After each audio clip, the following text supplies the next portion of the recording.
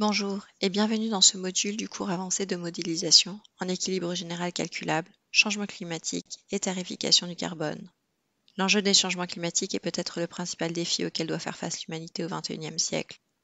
Entre 1880 et 2012, la température moyenne mondiale a augmenté de 0,85 degrés.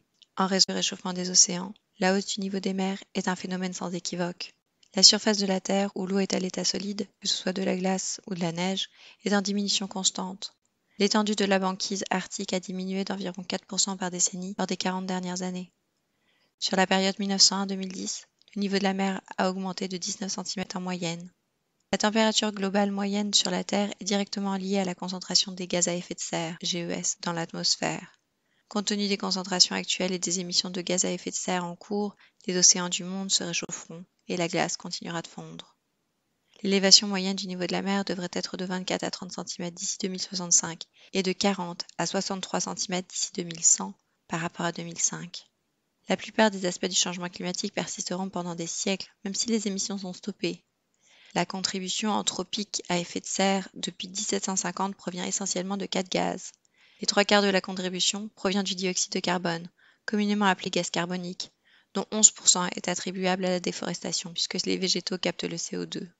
La majeure partie des émissions de dioxyde de carbone provient de la combustion de produits du pétrole. En effet, le pétrole est composé de carbone et en brûlant, ce carbone se combine à l'oxygène pour former du CO2. Le méthane persiste moins de 10 ans dans l'atmosphère et son potentiel de réchauffement climatique est 28 fois plus élevé que le dioxyde de carbone. Le méthane émis par les humains provient principalement de la combustion de gaz naturel, qui est en fait du méthane enfoui dans le sol. Le protoxyde d'azote un potentiel de réchauffement climatique 310 fois plus élevé que le dioxyde de carbone, en plus de contribuer à la destruction de la couche d'ozone. Il provient surtout de l'utilisation d'engrais en agriculture. Finalement, les allocarbures sont des gaz produits par l'homme dont le potentiel de réchauffement varie selon le gaz. Ils contribuent aussi à la destruction de la couche d'ozone. Les émissions de gaz à effet de serre se mesurent en comparant leur potentiel de réchauffement climatique à celui du dioxyde de carbone. Par exemple, une tonne de méthane compte pour 28 tonnes de dioxyde de carbone, car son potentiel de réchauffement climatique est 28 fois plus élevé. On mesure donc les émissions en tonnes équivalent CO2. Dans le graphique suivant, nous voyons que les émissions mondiales de gaz à effet de serre sont passées de 27 à 49 milliards de tonnes équivalent CO2 entre 1970 et 2010 et que le rythme de croissance des émissions s'est accéléré depuis l'an 2000. Les émissions de dioxyde de carbone ont doublé durant cette période et sont la principale cause de cette augmentation. Le groupe d'experts intergouvernemental sur l'évolution du climat est l'organisme des Nations Unies, qui est chargé de documenter scientifiquement le phénomène des changements climatiques. Son cinquième rapport d'évaluation, publié en 2013, sert de pierre d'assise à la lutte contre les changements climatiques. Une sixième édition est prévue pour 2022. Dans le cinquième rapport, le GIEC établit un objectif clair et précis, limiter l'augmentation de la température mondiale à 1,5 degré. Pour y arriver, et compte tenu de la hausse constante des émissions des gaz à effet de serre depuis la révolution industrielle, le GIEC propose d'atteindre la carboneutralité en 2050, en passant par une réduction de 45% des émissions entre 2010 et 2030. L'objectif de la carboneutralité signifie que toutes les émissions de gaz à effet de serre d'origine humaine seraient annulées, soit par la plante d'arbres et d'autres végétaux, soit par des technologies de captage et de stockage. En réponse au cinquième rapport d'évaluation du GIEC, 175 pays ont signé l'accord de Paris le 22 avril 2016. Au 31 mars 2021, 191 pays sont signataires de l'accord, ce qui couvre presque la totalité des émissions de gaz à effet de serre sur Terre. L'objectif central de l'accord de Paris est de renforcer la réponse mondiale à la menace du changement climatique, en maintenant l'augmentation de la température mondiale à un niveau bien inférieur à 2 degrés par rapport au niveau pré-industriel. Les États signataires s'engagent en outre à poursuivre les efforts pour diminuer cette hausse à 1,5 degré.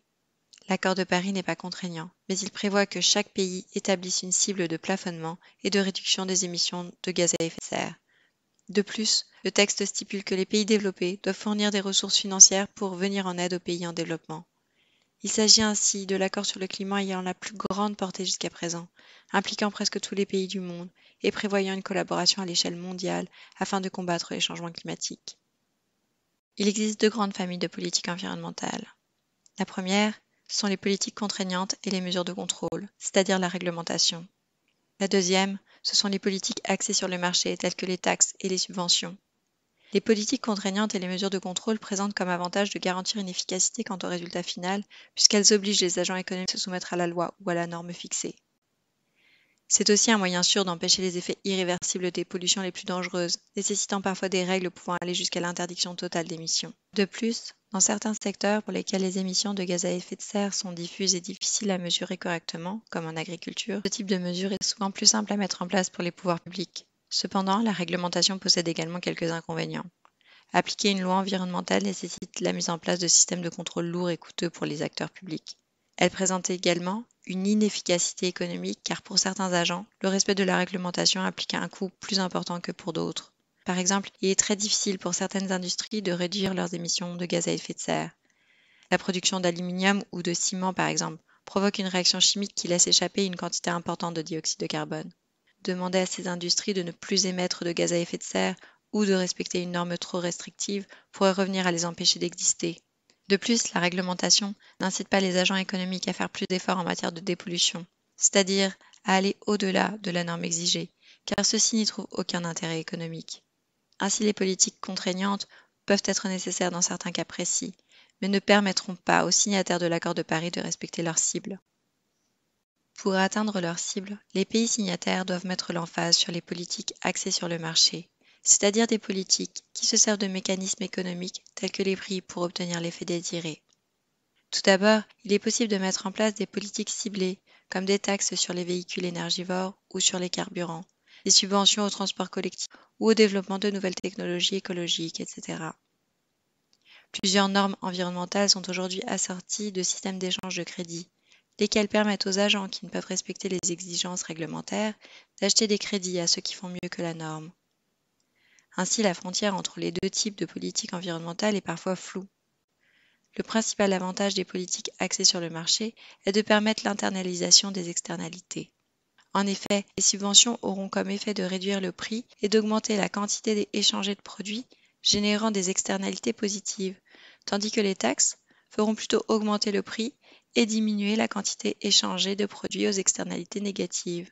De plus, ces instruments fiscaux sont généralement bien maîtrisés par les gouvernements, ce qui fait que ces mesures peuvent être mises en place rapidement et correctement. Néanmoins, la portée de ces mesures est souvent limitée. Elles visent souvent des industries ou des produits précis. Et dans le cas d'émissions de gaz à effet de serre, il serait ardu de mettre en place une taxe spécifique à chaque source d'émission. Par ailleurs, elles risquent de se tromper de cible. Par ailleurs, elles risquent de se tromper de cible, car ce ne sont pas directement les gaz à effet de serre qui sont taxés. Par exemple, une subvention au transport collectif peut avoir comme effet bénéfique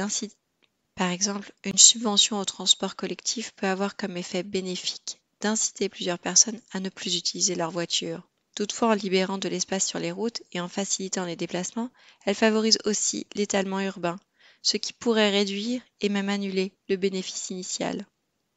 Le moyen le plus largement reconnu par les économistes de réduire les émissions de gaz à effet de serre est d'imputer directement un prix à ces émissions, ce qui est communément appelé la tarification du carbone. La tarification peut se faire de deux manières soit en taxant les émissions de gaz à effet de serre, soit en mettant en place un système de permis et d'échange de droits d'émissions de gaz à effet de serre.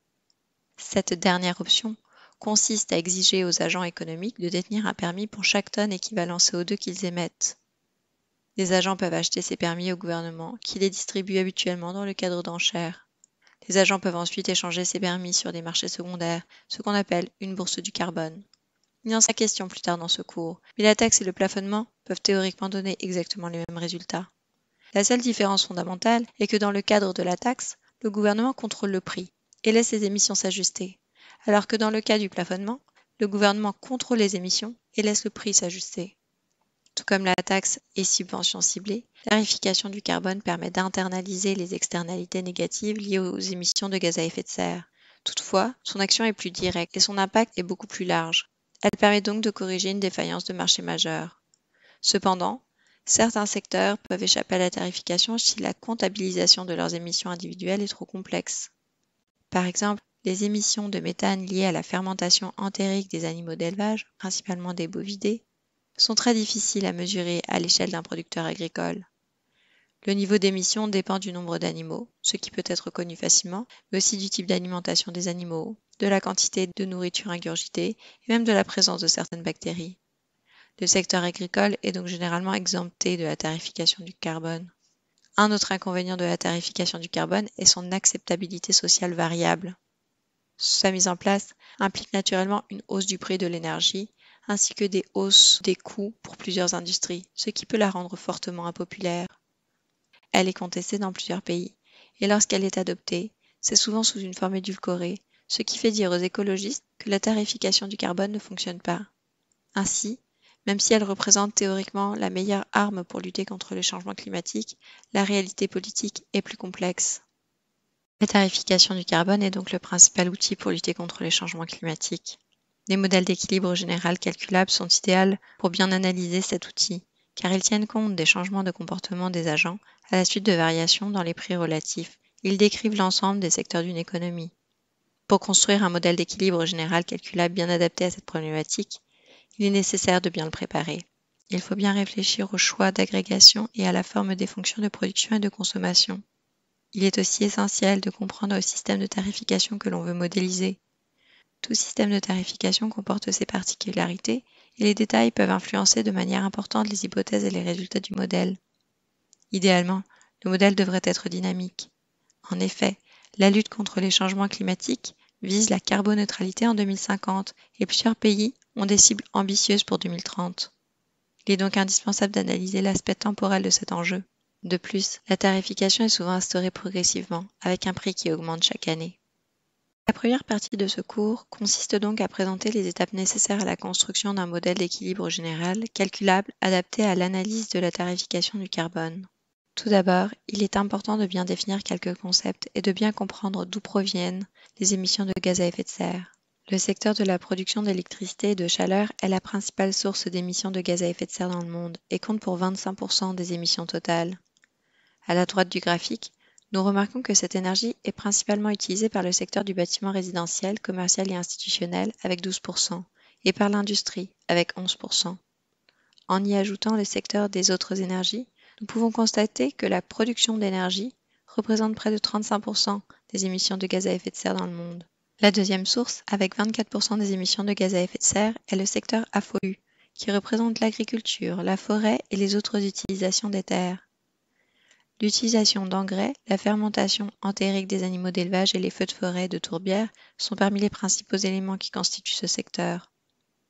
Vient ensuite le secteur de l'industrie, qui émet 21% des émissions de gaz à effet de serre. On peut départager leurs émissions en deux grands types, la combustion de combustibles fossiles et les procédés industriels. Finalement, le transport et le bâtiment génèrent respectivement 14% et 6% des émissions de gaz à effet de serre. Tous ces secteurs doivent être pris en compte dans les modèles qui s'intéressent à la tarification du carbone. Une attention particulière sera donc apportée à la modélisation de chacun d'eux. Le graphique précédent présentait la répartition par secteur des émissions mondiales de gaz à effet de serre. Mais évidemment, chaque pays possède ses particularités qu'il faut considérer dans la modélisation. Logiquement, un soin encore plus grand sera apporté à la modélisation des secteurs qui émettent le plus de gaz à effet de serre. Par exemple, le graphique suivant distingue les émissions selon le revenu du pays d'où elles proviennent. Il sépare les pays en quatre catégories, allant de revenus faibles à élevés. La catégorie bunker, à gauche, représente les émissions qui ne sont pas associées à un pays en particulier. Il s'agit principalement des émissions du transport aérien et maritime international. On constate que les émissions des pays à faible revenu proviennent très majoritairement du secteur de l'agriculture, de la forêt et des autres utilisations des terres, le secteur affolu. Comme nous allons le répéter quelques fois pendant cette présentation, les émissions de ces secteurs échappent souvent à la tarification du carbone. Toutefois, plus le revenu des pays augmente, plus le secteur de l'énergie et de l'industrie s'impose comme les plus grands émetteurs. Le secteur du transport prend aussi beaucoup plus d'importance pour les pays à revenus élevés. Et de manière générale, on remarque aussi que plus le revenu augmente, plus les émissions augmentent, tout simplement. La préparation du modèle consiste tout d'abord à bien choisir le niveau de détail désiré pour les produits et les industries. Ce niveau de détail dépend évidemment de la disponibilité des données, mais aussi de la structure et des particularités de l'économie à modéliser. Il n'est probablement pas nécessaire d'isoler tous les combustibles fossiles énumérés ici. Par exemple, il est possible d'avoir un modèle très complet sans avoir à désagréger tous les produits raffinés du pétrole. Toutefois, il faut être conscient qu'en regroupant ces produits, nous supposons implicitement qu'ils sont parfaitement substituables, tant en production qu'en consommation. D'autres produits nécessitent une attention particulière, comme l'électricité et les autres produits énergétiques qui peuvent être substitués aux substances fossiles. Les différents services de transport aérien, maritime, ferroviaire et routier, ainsi que le transport en commun, peuvent aussi être détaillés afin de prendre en compte leurs spécificités. Finalement, les produits dont la production émet des gaz à effet de serre, comme par exemple le ciment, plusieurs métaux et différents produits chimiques, peuvent être distingués du reste de la production manufacturière. Cette dernière distinction sera importante. En effet, les émissions de gaz à effet de serre du secteur manufacturier peuvent être distinguées en deux grandes catégories les émissions de combustion qui proviennent de l'utilisation de combustibles à des fins énergétiques, et les émissions de procédés qui proviennent d'une réaction chimique libérant des gaz à effet de serre lors de la production d'un produit spécifique. Par exemple, pour produire du ciment et de la chaux, il faut calciner, c'est-à-dire chauffer du clinker, qui est un mélange composé à 80% de calcaire. En chauffant, le carbonate de calcium, qui forme le calcaire, est décomposé en chaux et en dioxyde de carbone, qui est le principal gaz à effet de serre sur Terre. Puisqu'elle est essentielle à la production du ciment et de la chaux, cette émission de CO2 est difficilement évitable. C'est pourquoi, de manière générale, il est plus coûteux de réduire les émissions de procédés que les émissions de combustion. En plus de distinguer les types d'émissions, il est idéal de désagréger les industries de manière à isoler les plus émettrices. En effet, chaque industrie a ses particularités. Si les industries sont trop agrégées, le modèle ne permet pas de bien tenir compte des conséquences d'une hausse de la production d'un produit manufacturier relativement à un autre. Par exemple, chaque produit exige un apport énergétique différent. Chaque industrie a une capacité différente à substituer des produits énergétiques entre eux. En résumé, tout comme les produits énergétiques, le niveau de détail des industries du secteur manufacturier doit être assez élevé. Après avoir identifié les produits et les industries à isoler, il faut ensuite choisir la fonction de production qui permettra de bien représenter les choix auxquels doivent faire face les entreprises. Les fonctions de production habituellement utilisées pour les modèles qui s'intéressent à la tarification du carbone sont les fonctions KLE et KEL. Ces fonctions, qu'on dit imbriquées, permettent de mettre en évidence le rôle de l'énergie dans la production en intégrant l'énergie dans la valeur ajoutée des entreprises. La substitution possible entre les investissements en capital et l'énergie, qui reflète les gains en efficacité énergétique, est donc mieux prise en compte. La différence entre les fonctions KLE et KEL est le niveau de substitution entre l'énergie, le capital et le travail. En commençant par le bas du schéma, nous voyons que la fonction KEL permet tout d'abord une substitution entre le capital et l'énergie. Ensuite, ce composite capital-énergie, ou KE, est substitué au travail. Finalement, la valeur ajoutée capital-énergie-travail, ou KEL, est combinée aux consommations intermédiaires généralement en part fixe. Pour la fonction KLE, c'est plutôt le travail et le capital qui sont substitués directement comme dans les fonctions de production comme Douglas que nous rencontrons habituellement dans nos autres cours d'économie. Ce composite capital-travail, ou KL, est substitué à l'énergie pour former une valeur ajoutée KLE. Le choix de la fonction à retenir est à la discrétion des modélisateurs, mais il semble que la forme KEL permet de mieux représenter les gains à investir en efficacité énergétique. Par ailleurs, il est essentiel de jumeler ces formes fonctionnelles à des fonctions qui permettent de modifier le degré de substitution selon l'industrie, c'est-à-dire les fonctions à élasticité de substitution constante, ou CES. En choisissant une élasticité de substitution gamma dont la valeur peut se situer entre 0 et l'infini, il est possible de représenter autant la complémentarité parfaite, donc une fonction Leontief, que la substituabilité parfaite, donc une fonction linéaire. Pour une élasticité de substitution égale à 1, on retrouve la bonne vieille fonction Cobb-Douglas. En combinant les fonctions CES à une forme KEL, il sera ainsi possible de modéliser avec souplesse et précision l'interaction entre l'énergie, le capital et les autres facteurs de production. Finalement, il sera important de permettre la substitution entre les différents produits énergétiques en utilisant encore une fois une ou plusieurs fonctions CES. De manière plus détaillée, voici à quoi pourrait ressembler une fonction de production idéale. Évidemment, les choix exacts de modélisation dépendront de la question de recherche, mais aussi de la disponibilité des données. Un modèle plus simple pourrait très bien être adéquat s'il permet de bien isoler les éléments essentiels liés à la question de recherche. Premièrement, en commençant par le haut du schéma, nous voyons que la production génère directement des émissions de procédés. Ainsi, pour réduire les émissions de procédés, il est nécessaire de réduire la production, ce qui peut s'avérer économiquement coûteux. La production est composée de la consommation intermédiaire et de la valeur ajoutée. Ces deux éléments sont rassemblés par une fonction Leontief, donc en part fixe. La consommation intermédiaire est constituée de tous les produits non énergétiques, ce qui inclut les services de transport et d'autres produits qui induisent des émissions de gaz à effet de serre. Évidemment, la production de ces produits proviendra d'une autre industrie, qui elle-même aura une fonction de production similaire à celle-ci, mais avec des paramètres différents. Du côté de la valeur ajoutée, la forme KEL a été retenue. Cela signifie que le travail et le produit composite capital énergie sont liés par une fonction CES. Selon la disponibilité des données, on peut ensuite diviser le capital en deux catégories, les immobilisations et le matériel roulant, car les produits énergétiques qui correspondent à chacune des catégories diffèrent. Si cette catégorisation n'est pas possible, il sera alors important de traiter les combustibles fossiles dans deux groupes différents, afin d'éviter qu'un produit lié au transport comme l'essence ne peut être substitué à un produit lié aux immobilisations comme le charbon ou le coke de pétrole. Après avoir lié par une fonction CES l'énergie et le capital, il faut finalement rassembler les produits énergétiques dans une autre fonction CES. Il sera alors possible pour le modèle de substituer les combustibles fossiles avec d'autres sources d'énergie, comme l'électricité, l'hydrogène, la biomasse forestière, etc.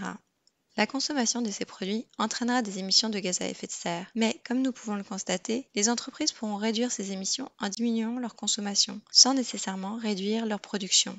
Réduire les émissions de combustion devrait donc être moins coûteux que de réduire les émissions de procédés. Le schéma de la diapositive précédente peut servir de forme fonctionnelle de base pour le modèle, mais doit être adapté selon le type d'industrie. Ainsi, les secteurs de la production et de la distribution d'énergie devront être traités différemment des autres industries. Du côté de la production d'énergie, une grande partie de leur consommation de combustibles fossiles sert de matière première à la production d'énergie, ce qui rend souvent la substitution impossible ou très difficile. Ce constat implique que les activités de transformation de combustibles fossiles, comme par exemple le raffinage du pétrole brut, génèrent surtout des émissions de procédés, car elles n'utilisent pas les combustibles fossiles à des fins énergétiques. Cette distinction sera importante, car le combustible servant de matière première ne devra pas être considéré comme un produit énergétique dans la fonction de production. Par contre, les industries qui transforment des combustibles en produits raffinés peuvent aussi utiliser des combustibles fossiles comme source d'énergie. Par exemple, les raffineries peuvent utiliser du gaz naturel pour chauffer le pétrole brut. Dans ce cas, les possibilités de substitution sont faibles mais possibles. L'utilisation de ces combustibles génère donc des émissions de combustion. Du côté de la distribution de combustibles, les industries qui se chargent de cette activité consomment évidemment une quantité importante de combustible, mais comme dans le cas de la transformation, pas à des fins énergétiques. En fait, dans ces activités, les émissions sont relativement faibles puisque le combustible n'est pas chauffé ou brûlé. Elles peuvent toutefois faire l'objet de fuites qui génèrent des émissions fugitives. Ces dernières peuvent être apparentées à des émissions de procédés car elles sont proportionnelles à la quantité produite. La fonction de production d'une raffinerie pourrait donc correspondre à ce schéma. Nous voyons qu'elle est presque identique à celle présentée précédemment, à la différence que le pétrole brut a été retiré des produits énergétiques. Cette modification permet de bien prendre en compte la particularité de cette industrie et d'empêcher une substitution improbable entre le pétrole brut et l'électricité par exemple. Sous cette forme, les émissions liées à la combustion ou au chauffage du pétrole brut peuvent se retrouver dans les émissions de procédés. Alternativement, elles pourraient aussi être directement liées à la consommation de pétrole brut, ce qui revient à la même chose puisque le pétrole brut constitue ici une part fixe de la production. Une autre industrie qui doit être modélisée différemment est celle de la production d'électricité, car cette activité peut prendre différentes formes et utiliser des produits aux propriétés très différentes. La modélisation simple de cette industrie est d'avoir un seul secteur de production d'électricité pour lequel la consommation des différents intrants est représentée par une fonction CES. De cette manière, l'industrie produit un produit principal, de l'électricité, en utilisant une variété de produits qui peuvent se substituer entre eux. Toutefois, cette modélisation peut être problématique si la production d'électricité implique autant l'utilisation de ressources non renouvelables que de ressources renouvelables.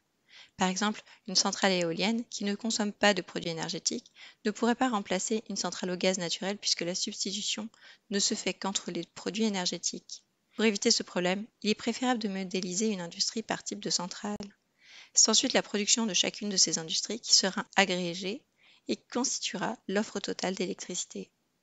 Par exemple, une centrale au gaz aurait une fonction de production identique à celle d'une raffinerie de pétrole, à deux différences près. Premièrement, c'est le gaz naturel qui serait retiré des produits énergétiques et placé dans la consommation intermédiaire, plutôt que le pétrole brut pour la raffinerie. Deuxièmement, l'électricité produite par cette industrie serait combinée à la production des autres types de centrales. Celle-ci pourrait inclure des centrales thermiques qui utiliseraient des produits pétroliers, mais aussi des centrales éoliennes ou hydroélectriques qui utiliseraient peu de produits énergétiques. La production de toutes ces industries pourrait être combinée par une fonction linéaire, donc supposant une substituabilité parfaite, ou par une fonction à élasticité de transformation constante, ou CET, qui est l'équivalent d'une fonction CES, mais pour l'offre. Une fonction linéaire serait adéquate pour une économie dont le marché de l'électricité est caractérisé par une concurrence vive entre les différents types de centrales. Une fonction CET pourrait être préférable si le modèle doit tenir compte des enjeux de réseau. En effet, il peut être difficile de substituer l'électricité de différentes sources si la distribution est contrainte par l'absence d'infrastructures de réseau de distribution. Par exemple, une économie pourrait avoir sur son territoire des centrales thermiques et des centrales éoliennes, mais toutes deux fournissant de l'électricité à un territoire bien spécifique. Dans ce cas précis, la substitution entre les deux types d'électricité serait difficile et serait mieux représentée par une fonction COT que par une fonction linéaire. Le secteur affolu regroupe d'autres industries dont les émissions de GES sont potentiellement importantes. Il s'agit des secteurs agricoles et de la foresterie, qui, comme nous l'avons vu plus tôt, peuvent même représenter la plus grande partie des émissions de gaz à effet de serre dans les pays en voie de développement. Les émissions de ces secteurs sont souvent plus difficiles à comptabiliser et à encadrer et peuvent généralement être apparentées à des émissions de procédés, c'est-à-dire à des émissions qui évoluent au même rythme que la production. Les émissions du secteur agricole proviennent de trois principales sources. 1. La fermentation entérique, c'est-à-dire la digestion des animaux, qui émet du méthane. 2. Le fumier émet du méthane et du protoxyde d'azote. Et 3. L'utilisation d'engrais et la gestion des sols de manière générale émettent du protoxyde d'azote et d'autres gaz à effet de serre. Il s'en dégage donc deux activités distinctes, dont les émissions de gaz à effet de serre seraient idéalement traitées séparément. L'élevage des animaux qui émet du méthane et du protoxyde d'azote, et les cultures de toutes sortes qui nécessitent des engrais émettant du protoxyde d'azote. Par ailleurs, ces secteurs peuvent aussi contribuer à réduire les émissions de gaz à effet de serre. La production de biocarburants, souvent à base de maïs ou de résidus forestiers, peuvent remplacer les combustibles fossiles. Ainsi, une politique de lutte contre les changements climatiques pourrait entraîner une hausse de la demande pour la production provenant de ces industries. En bout de ligne, même si la modélisation de ces secteurs dans un cadre de tarification du carbone n'est pas évidente, le strict minimum est de bien représenter leurs émissions de combustion.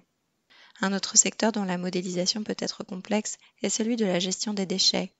Les émissions liées à cette activité dépendent du stock de déchets, qui dépend lui-même de l'activité économique passée. Une manière de le représenter est de le lier à l'activité économique courante ou bien de le traiter comme un stock.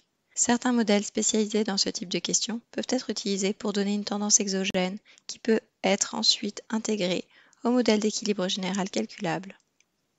Le secteur du transport peut être un émetteur important de gaz à effet de serre, particulièrement dans les pays les plus riches. Nous pouvons séparer ce secteur en deux grandes catégories.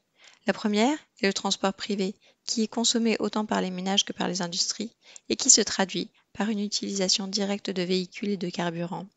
Les transports des ménages peuvent être modélisés à la manière des industries, c'est-à-dire en liant directement un capital transport à une consommation de carburant. Les modèles les plus complexes distingueront les différents types de véhicules selon leur taille et le type d'énergie consommée. Au cours des prochaines années, l'électrification du transport deviendra un enjeu de plus en plus important. Il sera nécessaire de bien représenter cette réalité dans les modèles d'équilibre général calculables. La seconde catégorie est le transport public, qui se décompose en différents types de services de transport. Les ménages et les industries peuvent se substituer entre ces services de transport par l'entremise d'une ou plusieurs fonctions CES. À leur tour, ces services de transport seront produits par des industries qui, elles, consommeront des produits énergétiques, dont des combustibles fossiles. La fonction de production de ces industries sera semblable à celle décrite précédemment. Un peu comme le transport, le secteur du bâtiment peut être divisé en deux catégories. D'un côté, il y a les ménages et les entreprises qui possèdent leur bâtiment et qui consomment directement de l'énergie afin de le chauffer, de l'éclairer, de le climatiser, etc. Dans ce cas, la production d'énergie est idéalement liée à un stock de capital bâtiment, pour lequel il est possible d'investir en efficacité énergétique et de substituer entre les différents produits énergétiques. Le stock de bâtiment peut être distingué selon le type d'immeuble. les maisons unifamiliales ayant des besoins énergétiques plus élevés qu'une unité d'habitation à l'intérieur d'un immeuble à logement. De l'autre côté, les ménages et les entreprises peuvent aussi louer un bâtiment à l'industrie des services immobiliers qui aura elle-même une consommation de produits énergétiques définie par une ou plusieurs fonctions CES. En résumé, lorsque la fonction de production des industries est bien construite, la consommation d'énergie liée au transport et au bâtiment devrait traduire adéquatement les comportements des entreprises face à des changements dans les prix relatifs des produits énergétiques. Une fois que la structure du modèle a été décidée, il faut s'assurer de la disponibilité des données en plus de vérifier que le niveau de détail des données économiques habituelles est suffisant et cohérent avec les choix d'agrégation, il est nécessaire de pouvoir compter sur des données de qualité concernant les émissions de gaz à effet de serre. La comptabilisation de ces émissions est une science relativement jeune et le degré de précision et de détail varie selon les juridictions. La plupart des inventaires d'émissions de gaz à effet de serre utilisent le système de comptabilité économique et environnementale des Nations Unies, qui permet ainsi d'assurer une standardisation des mesures dans le monde. L'accord de Paris exige que chaque signataire produise un rapport d'inventaire annuel d'émissions de gaz à effet de serre. Ceci dit, même les pays développés ayant des moyens importants à leur disposition révisent régulièrement leurs inventaires passés d'émissions de gaz à effet de serre. Il n'est pas rare qu'un simple changement d'hypothèse concernant le potentiel de réchauffement d'un gaz, par exemple, fasse varier les inventaires historiques de plus de 1%. Sachant cela, il faut donc être conscient que les émissions de gaz à effet de serre de l'année de base du modèle pourraient changer dans le temps, ce qui impliquerait de recalibrer certains paramètres à chaque fois. Idéalement, l'inventaire d'émissions de gaz à effet de serre à votre disposition indiquerait les émissions par secteur, par type de combustible et même par type de gaz. En réalité, des données aussi précises sont plutôt difficiles à trouver.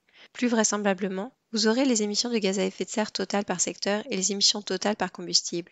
Et il vous faudra alors utiliser les consommations de combustible de chacun des secteurs afin d'estimer les émissions par secteur et par combustible. Par ailleurs, comme mentionné auparavant, l'unité de mesure utilisée pour les émissions de gaz à effet de serre est la tonne équivalent CO2. Toutes les émissions sont donc calculées en fonction de leur potentiel de réchauffement climatique relativement au dioxyde de carbone. Les inventaires nationaux d'émissions de gaz à effet de serre sont habituellement répartis selon les secteurs du GIEC. Le niveau de détail peut être élevé, comme le montre cet exemple d'inventaire produit par Environnement et Changement climatique Canada. Cependant, les secteurs du GIEC ne correspondent pas nécessairement aux secteurs décrits dans les tableaux des ressources et des emplois. Quelques hypothèses et une compréhension fine de ces inventaires seront nécessaires afin de distribuer les émissions de gaz à effet de serre adéquatement dans la matrice de comptabilité sociale. Voici un autre exemple de données dont vous pourriez disposer. Il s'agit des comptes de flux physiques de Statistique Canada qui estiment les émissions de gaz à effet de serre au Canada de chaque industrie sur la même base que les tableaux des ressources et des emplois. Malheureusement, ces données ne sont pas réparties selon que les émissions proviennent des procédés ou de la combustion et n'offrent aucune désagrégation par produit, ce qui limite l'utilisation que vous pourrez en faire. Il est possible de combiner ces données à une autre base de données, qui serait désagrégée sur la base des produits. Vous pourriez alors estimer les émissions par produit pour chacune des industries, en supposant que l'écart entre les émissions totales et la somme des émissions par produit correspond aux émissions de procédés.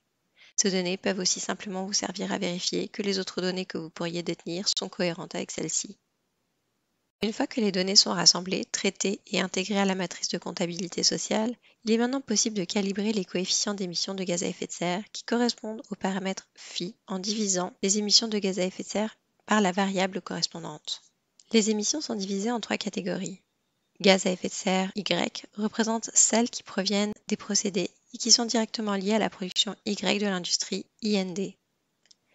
Gaz à effet de serre X représente celles qui proviennent de l'utilisation de combustibles fossiles de la part des industries et qui sont directement liées à la consommation X du produit prod par l'industrie IND.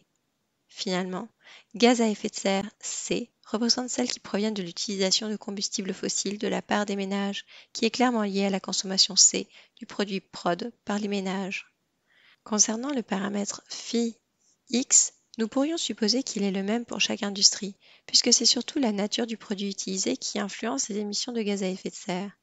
Par exemple, la combustion d'un mètre cube de gaz naturel devrait générer des émissions d'environ 2 kg équivalent CO2, sans égard à l'industrie qui en est responsable. Cependant, cette hypothèse serait inexacte pour plusieurs autres produits, selon le niveau de désagrégation. Par exemple, si tous les produits raffinés du pétrole sont agrégés à l'intérieur d'une seule catégorie, le coefficient devra varier selon que l'industrie consomme surtout de l'essence ou du coke de pétrole, deux produits dont les émissions de gaz à effet de serre diffèrent grandement. En raison de l'agrégation des produits, il est donc souvent préférable de calibrer des coefficients différents pour chaque paire de produits et d'industries. La partie 1 a décrit toutes les étapes nécessaires à la production d'un modèle prenant en compte les émissions de gaz à effet de serre. C'est maintenant le moment d'y intégrer les différents éléments qui le rendront apte à répondre aux questions sur la tarification du carbone. Comme expliqué plus tôt, la tarification des émissions de gaz à effet de serre peut se faire de deux manières, soit en taxant les émissions, soit en mettant en place un système de permis et d'échange de droits d'émission. La différence fondamentale entre ces deux systèmes est que le prix est exogène et que les émissions sont endogènes dans le cas de la taxe, alors que c'est l'inverse dans le cas du plafonnement. Les systèmes de plafonnement peuvent aussi couvrir plusieurs juridictions, ce qui implique que le marché est à l'équilibre pour l'ensemble des juridictions concernées, mais pas nécessairement pour celles visées par le modèle. Par exemple, la modélisation de la tarification d'un pays d'Europe nécessitera d'émettre une hypothèse sur l'influence de ce pays dans le marché du carbone européen. S'agit-il d'un petit pays comme le Luxembourg, pour lequel on peut supposer un comportement preneur de prix? Cette situation est plus simple à modéliser puisqu'elle permet au prix du marché d'être exogène, rendant le plafonnement identique à la taxe.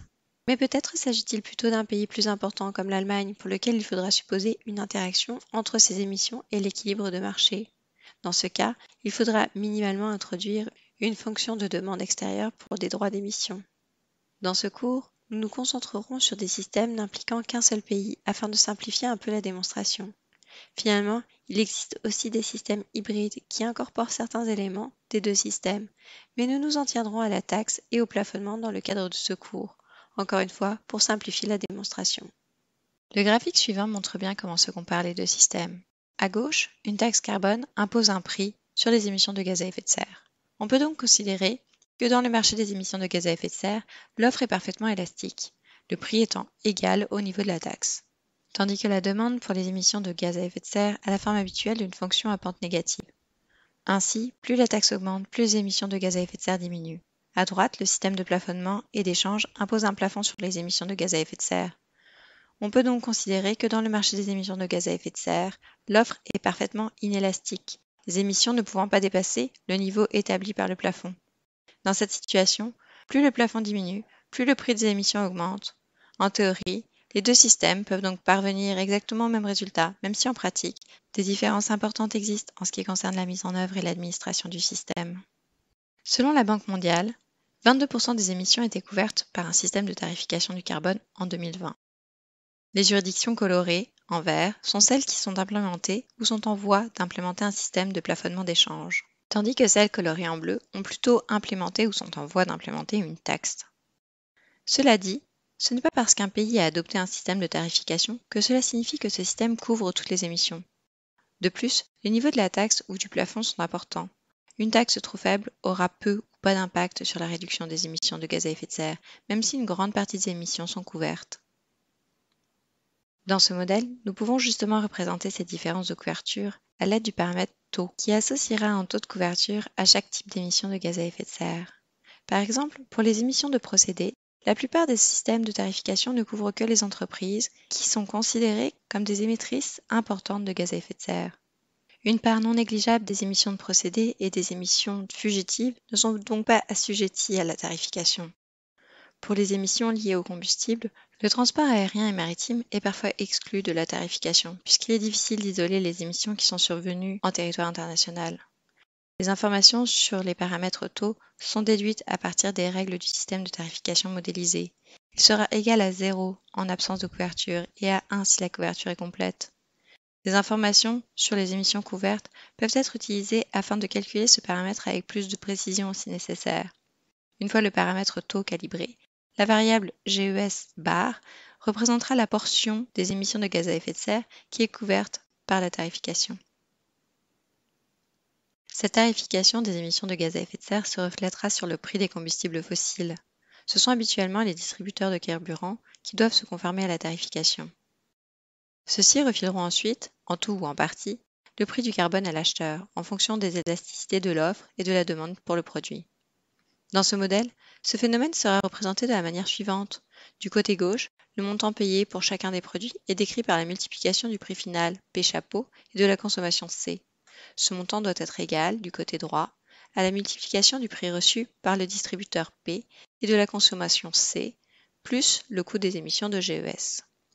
Le coût des gaz à effet de serre s'écrit comme la multiplication du prix des émissions, que ce soit la taxe ou le prix des droits d'émission, et de la quantité de GES couvert par la tarification qui provient de ce produit. À partir des équations 3 et 6 décrites précédemment, on peut réécrire GES bar comme étant égal au taux de couverture taux multiplié par le coefficient d'émission phi et la consommation du produit C. L'étape suivante est de diviser par la consommation des deux côtés de l'équation. On obtient finalement le résultat suivant. Le prix payé par les consommateurs P chapeau est égal au prix reçu par les distributeurs P plus le prix des gaz à effet de serre multiplié par le taux de couverture et le coefficient d'émission. Le même constat s'applique pour la consommation de combustibles fossiles par les industries.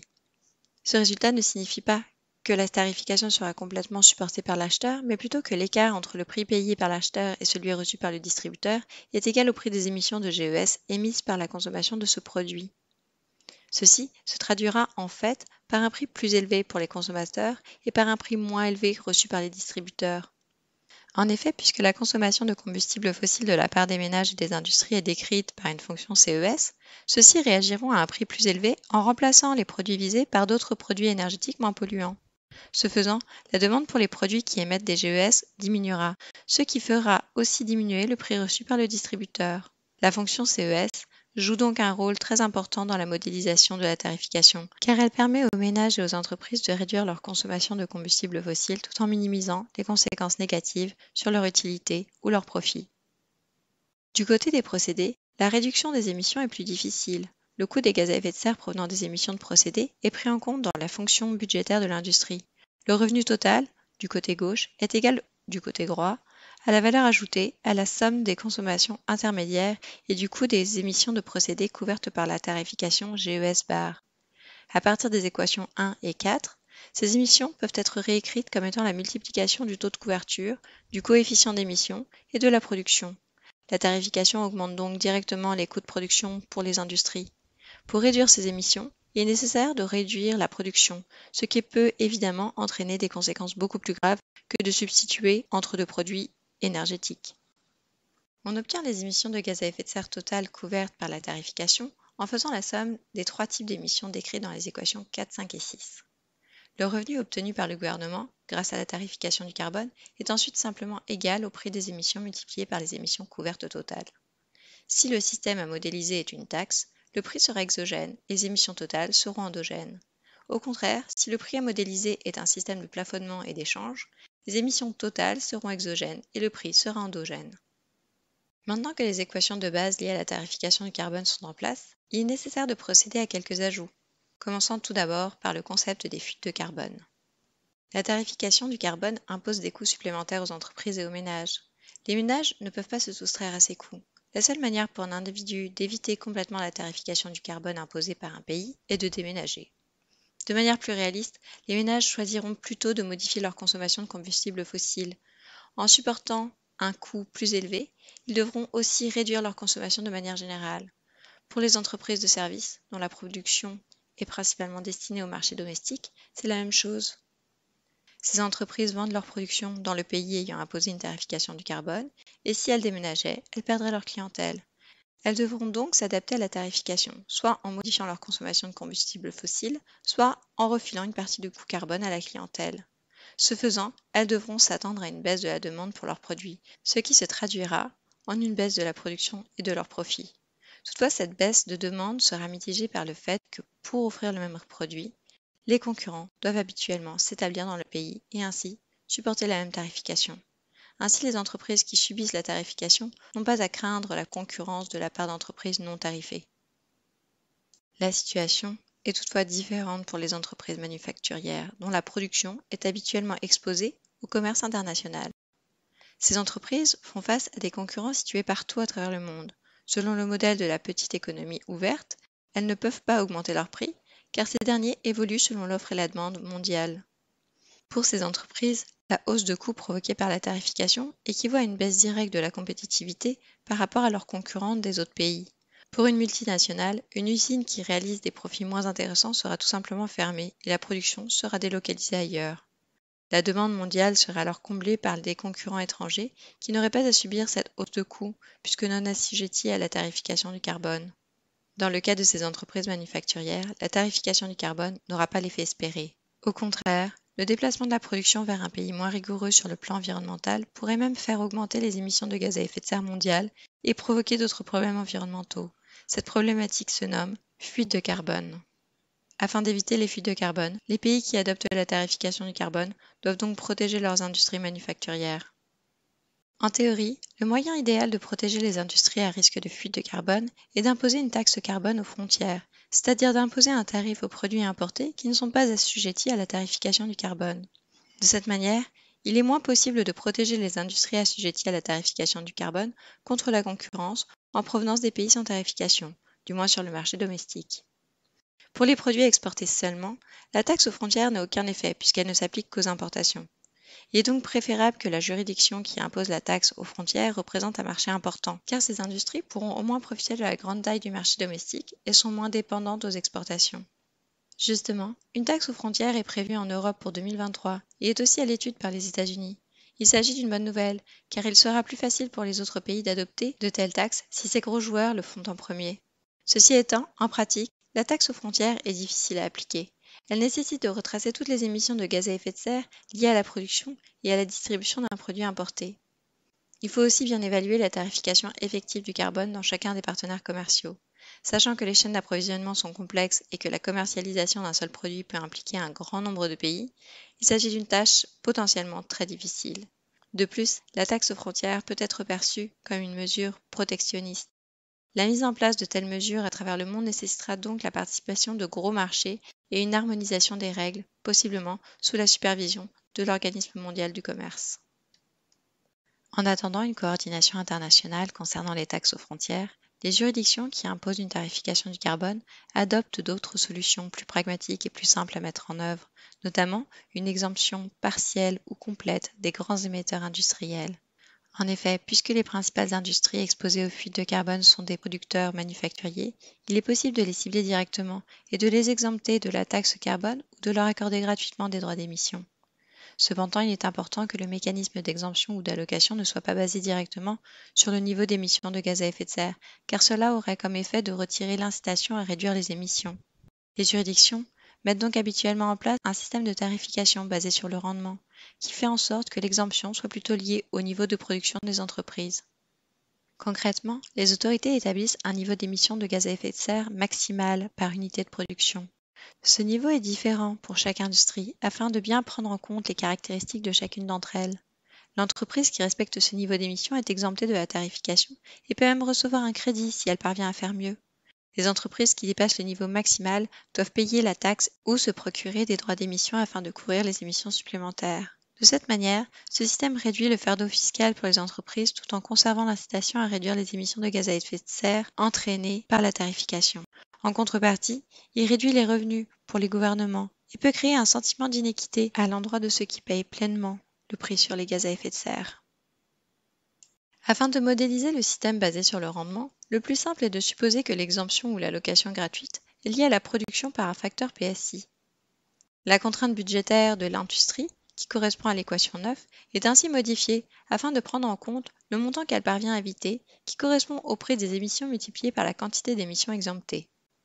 Comme nous venons juste de le mentionner, cette quantité d'émissions exemptées est égale à la production assujettie à la tarification multipliée par le facteur PSI.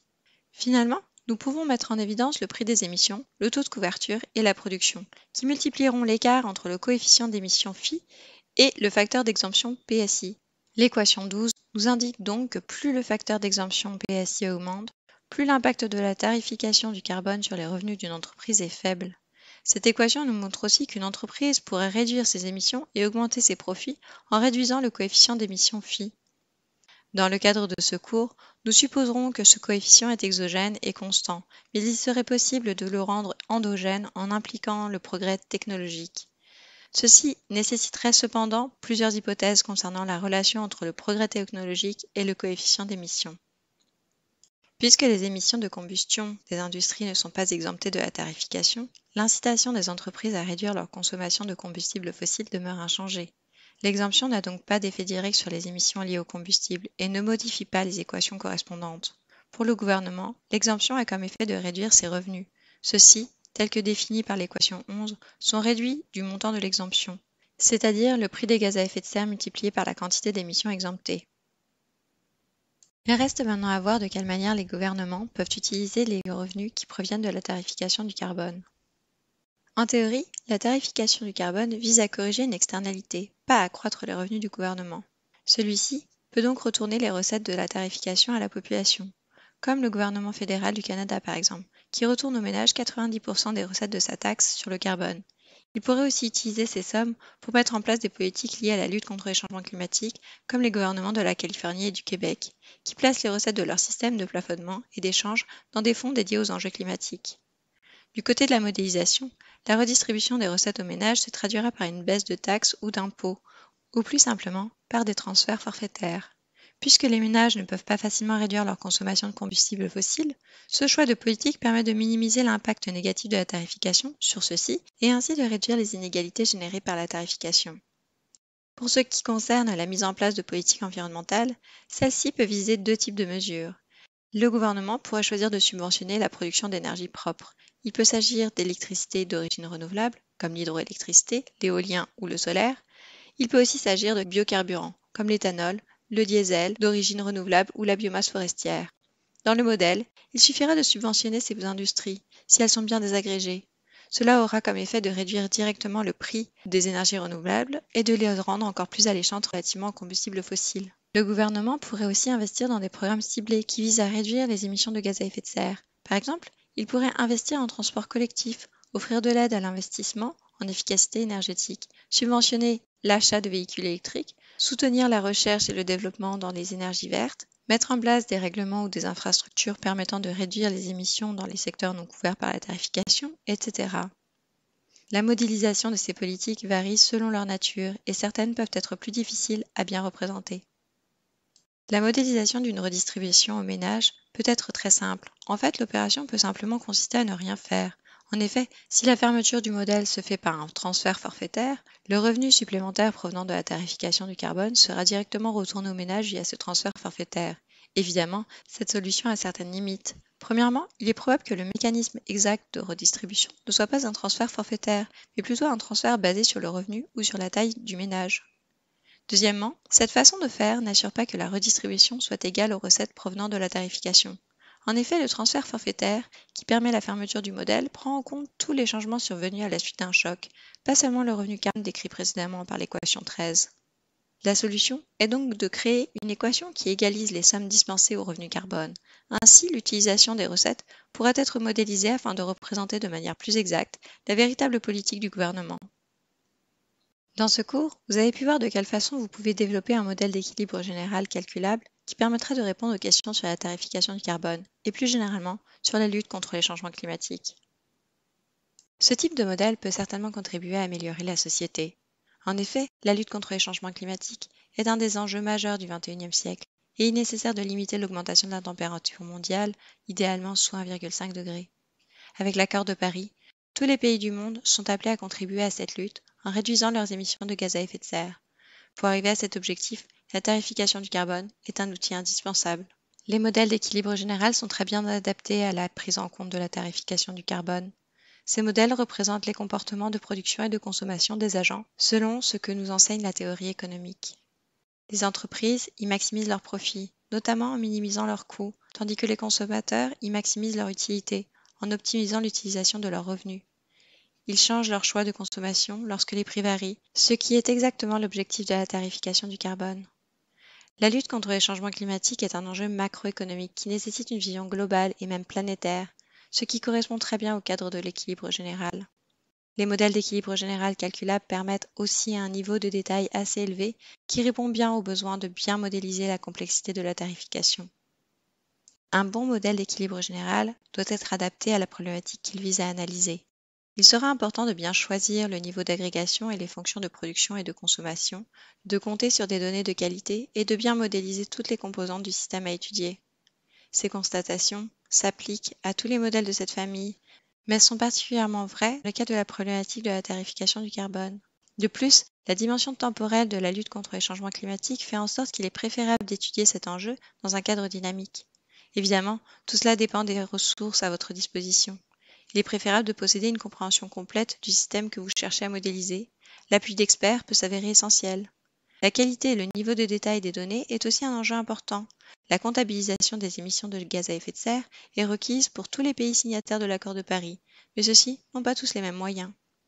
Finalement, le temps et les ressources disponibles afin de développer le modèle, dont le nombre de modélisateurs, ne sont pas les mêmes pour tout le monde.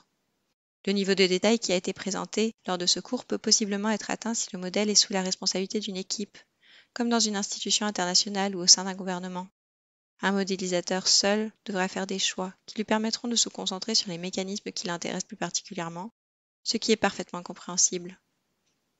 Les modèles d'équilibre général calculables dédiés à l'environnement et la tarification du carbone sont nombreux à travers le monde. Il est possible de les distinguer en deux principales familles, d'un côté, les modèles mondiaux permettent de prendre en compte l'aspect planétaire de la lutte contre les changements climatiques. Puisque les émissions de gaz à effet de serre ne connaissent pas de frontières, il peut être très utile d'évaluer cet enjeu dans un modèle qui prend en compte la planète dans son ensemble. Toutefois, la tarification du carbone varie beaucoup selon les juridictions. Ces modèles auront donc le désavantage de ne pas nécessairement bien prendre en compte les spécificités de chaque système. La solution à ce problème est l'utilisation de modèles nationaux qui permettent une meilleure prise en compte des caractéristiques de la tarification du carbone pour une juridiction donnée. Bien entendu, ces modèles offriront toutefois une vision plus étroite et rendent plus difficile l'analyse de certaines problématiques, comme les fuites carbone par exemple. Finalement, il est possible de coupler un modèle d'équilibre général calculable à un autre modèle afin d'améliorer les analyses plus spécifiques. De manière générale, le couplage se fait entre un modèle descendant et un modèle ascendant. Les modèles d'équilibre général calculable sont des modèles descendants, car ils offrent une vision plus macro et générale de la problématique étudiée. Ils permettent de prendre en compte les relations entre tous les secteurs impliqués. La désagrégation peut être assez fine et tout de même offrir un bon niveau de détail. En couplant un modèle descendant à un modèle ascendant, l'objectif est de représenter, avec un niveau de précision beaucoup plus élevé, certains mécanismes ou secteurs d'intérêt. Les modèles ascendants se concentrent donc habituellement sur un secteur, dont voici certains exemples. Les modèles énergétiques intègrent les fonctions de production beaucoup plus réalistes et complexes que les fonctions CES des modèles d'équilibre général calculables. Ils permettent ainsi de mieux représenter l'utilisation d'énergie, mais aussi les procédés de production qui émettent des gaz à effet de serre. Les modèles forestiers, comme leur nom l'indique, détaillent le secteur de la forêt en prenant en compte l'utilisation des terres, la capacité de régénération de la forêt, l'utilisation des produits du bois, etc. Les modèles de microsimulation sont souvent utilisés en compagnie de modèles d'équilibre général calculable. Ils peuvent servir dans le cas de modèles sur la tarification du carbone afin de bien évaluer l'impact de cette tarification sur les ménages, notamment d'un point de vue des inégalités que celle-ci peut entraîner. Il existe aussi des modèles qui traitent du marché de l'électricité, tant au niveau de sa production que de sa distribution, en prenant en compte les enjeux de réseau, de capacité de production, etc. Le couplage permet donc d'accroître les possibilités des modèles d'équilibre général calculables afin d'analyser la lutte contre les changements climatiques et la tarification du carbone. À vous de voir comment vous pouvez contribuer à pousser les limites encore plus loin.